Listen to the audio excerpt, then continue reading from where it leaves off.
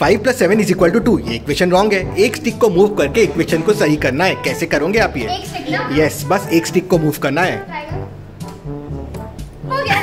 अरे वो उल्टा सिक्स है। हाँ। नहीं,